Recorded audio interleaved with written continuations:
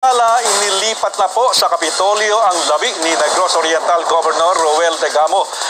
Sir, are you willing to cooperate po dito sa investigation, sir? Sir?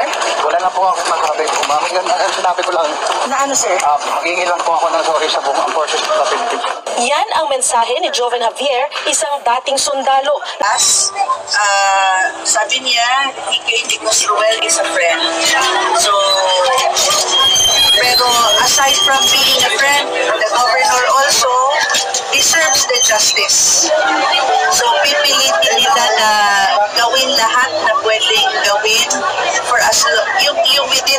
bounds of the law, na mabigyan din ng katarungan yung pagkamatay ni governor kasama ang eight others. Ma'am, reaction lang ma'am na yung dalawa ay nag-express na ay pwedeng malagay sa WPP and the other express later one month na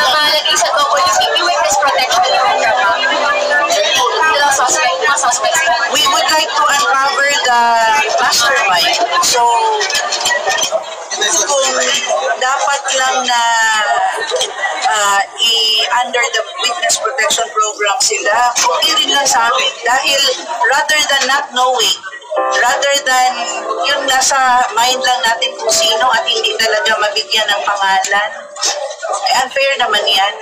Ruel have been working very hard as a governor. Ma'am, can we give you an update as to the mastermind? Because Secretary Secretary of Justice was telling about potential mastermind, na nakausap daw po ng isa sa mga suspects sa video camera. Ah, wala kaming pinag-usapan na pangalan.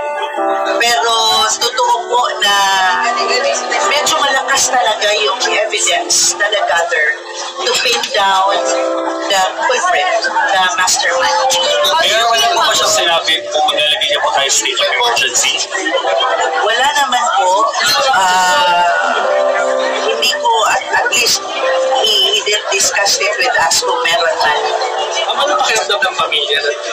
President himself visited you here na na-touch din po talaga kami.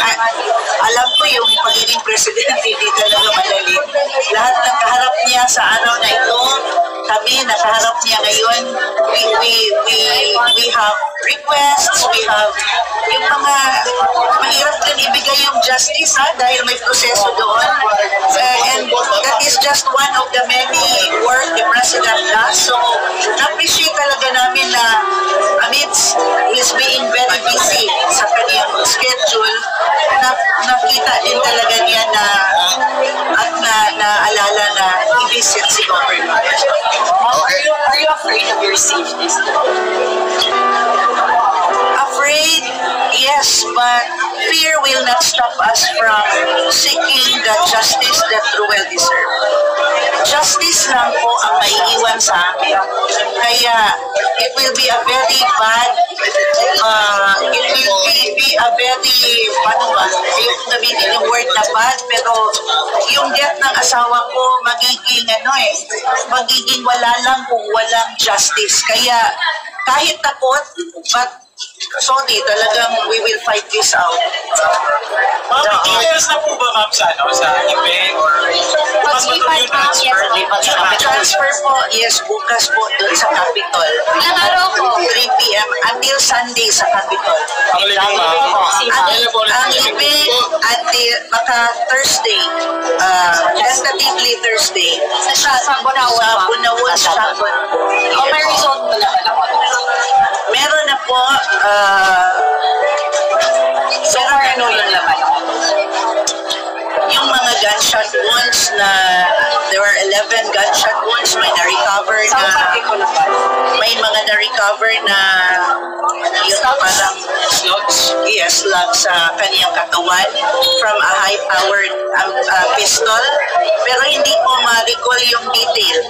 Uh, but we see to but we see to it that there that the autopsy should be done because uh, if that would mean help being able to disclose the the the suspects, ma, makakatulong ang autopsy. Mayor, sinabi po ni Secretary Rimuli po na almost close na po yung case na ito. Ano pong nararamdaman niyo right now?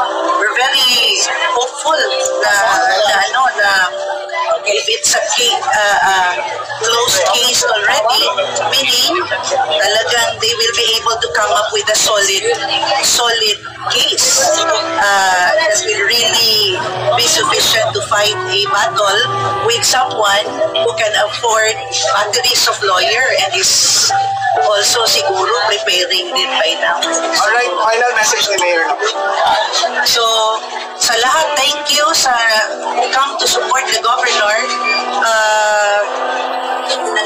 Nangihinayang lang kami that uh, the governor died at a very early age along with eight others.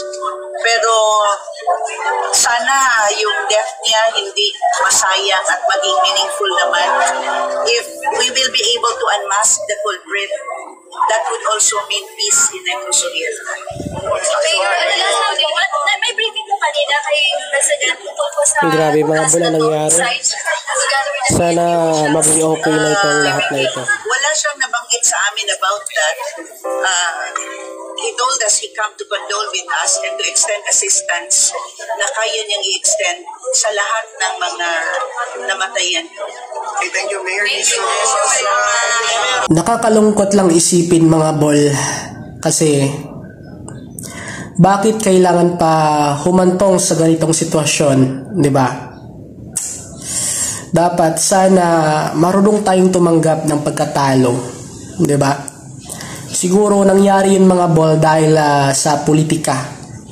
Alam namin natin na yung iba sa atin ay talagang gustong ah, maghari ah, sa isang komunidad, sa isang barangay o sa kahit ano paman dahil mataas nga yung ambisyon natin mga bol sa buhay. Pero sana kung natalo man tayo, 'di ba?